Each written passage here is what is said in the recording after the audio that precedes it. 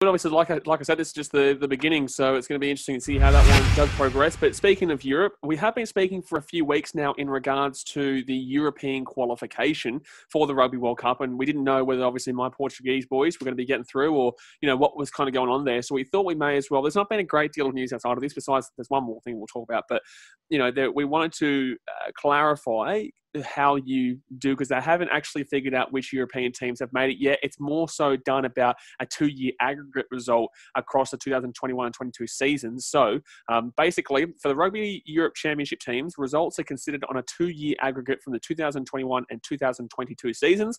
The winner and runner-up teams automatically qualify for the tournament as Europe 1 and Europe 2 individually, leaving the team in third place to qualify for the final qualification tournament as Europe 3. But that final qualification tournament is basically basically the uh, it's not what's it called? It's um, I can't remember what it's called here. That that uh, qualification tournament is not it's not Europe three, but it's like all the third best or the teams that missed out would come to play. So I think it's like oh, is it kind of like a it's like slightly, a mixture, like a I don't even. Know I was going to say golden point, but that's not the right term. But it's kind of like a kind of know. like Oh, uh, bo- uh, no, not bogey card, a joker card. No, what is it it's called? The pretty much that. I'm gonna get it. For, I'm gonna get it for us because otherwise it's gonna really frustrate me.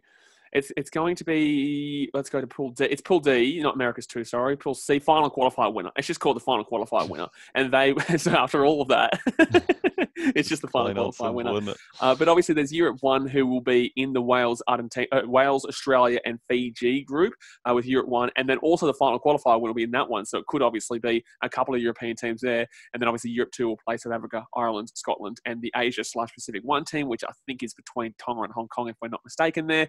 Uh, but the way it's shaping up right now through the season's aggregates, Georgia is clearly on top with 24 table points. In second is Portugal, who are 14 table points. So right now, uh, it is, I don't know if it's already been qualified here.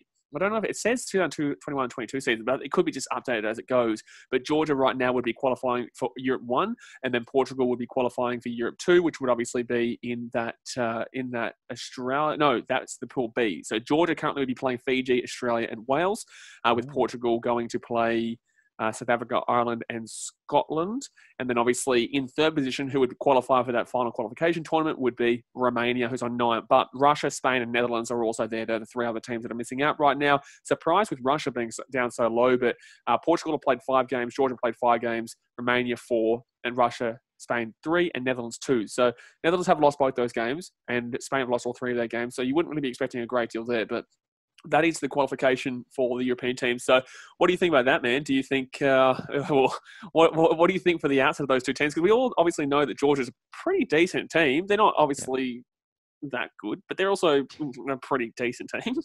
Mm, I'm going to be excited to see that rematch if they do make it into Pool B. That rematch between them and Fiji. Oh, here we go. It's Pool C, because, by the way.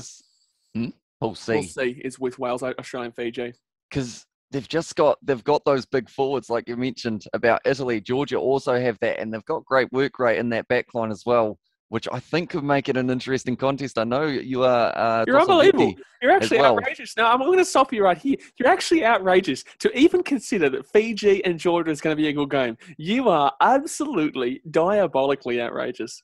It's going to be a high scoring one. That is for sure because both Fiji sides couldn't train. I know you're referring to that tournament, the the Autumn Nations Cup. Not really. They're close um, on the table in terms of the world rankings. I should say it. as well. Get off it, Fiji. Oh my God! So you're telling me I'm so, this is it? I'm I'm I'm getting sick of you, mate. Didn't Fiji talking? lose a game in the last World Cup against someone who was like way down the yeah, rankings? If I'm yeah, not yeah. wrong, it was Uruguay. Uruguay. Yeah, absolutely. Yeah, who were lower uh, than Georgia? If I'm not wrong, way there. lower than Georgia. So they could actually end up choking this game away, possibly Fiji. The last time if they, they make a they little bit of a beat Georgia, mate. They convincingly beat Georgia the last time they played. They they went won by like 19 points, and they hadn't played. Uh, they hadn't had a single second of training because their entire team came down with COVID. Georgia played the entire tournament, got pumped in every single game, and you think because they're in 12th and Fiji's in 11th that they're going to be close this time round?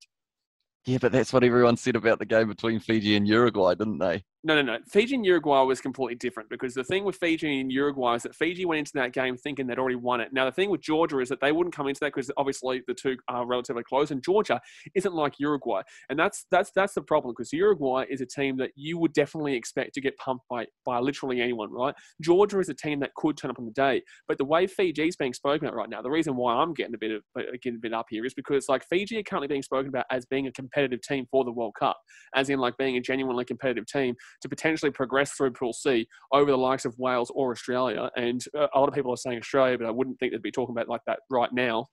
But like, how have we gone from talking about Fiji being a competitor to go through Pool C, and now we're saying they could potentially lose to Georgia? I mean, all I said was I was looking forward to the rematch. You and, and I, I, both really know what you just said that Hamish. As well. I tried a little bit of the BKR sport tactic. I decided to try and get under the skin a little bit just well, with one statement. It worked. You did, Might mate. have to try it more often. Seemed a little did, bit yeah. too easy, mate. Yeah, well, buddy, go for it, But you can you can go for it all you like. But uh, you're the one who's just come out and said that you think that uh, Georgia's going to compete with a, a, nice little cheeky game there alongside the Fijians, if I'm not mistaken. Because obviously you think because they're in 12th and they're in third, 11th and 12th that they would obviously have a close game. Am I not mistaken? I mean, at the end of the day, they are leading the European one, so they are going to be in that pool unless something drastic changes. Oh, so we're going to get to see oh, that match. And it's just going to be interesting to see who's going to end up also qualifying in that European one? Because I know you like your Portuguese, and they will be in pool. What pool are they getting put into? Currently speaking, currently speaking, they would be in pool B alongside South Africa, uh, Ireland, and it was South Africa, Ireland, and somebody else. That wouldn't be a lot of fun in that pool, I wouldn't think. Well, it depends on how, buddy. Yeah, it depends on how South Africa maintain their push right now. Pool D is South Africa, Ireland, Scotland. So that is not yeah, a fun pool, so actually. Yeah, no, that's that's that's not a fun pool. Be tough. And Asia Pacific one, which I would assume would be potentially Tonga, uh, unless Hong Kong can adjust there, or oh. I'm not too sure, but it's still a difficult group because that's yeah, that's a, that's a tough group there. Uh, but in the same sense, like look, Georgia for me is is you know look all three of these teams. The fact that they have to qualify through this portion is not the greatest for them, but uh, I don't even know who they've played, but in the same sense, we'll see who qualifies from there. And uh, I just want to put this out there, everyone. Uh, Hamish said that Georgia have a chance against Fiji, so do remember this for when the uh, the World Cup does come around. Do remember that Hamish predicted that Georgia would be coming in competing very well there with Fiji.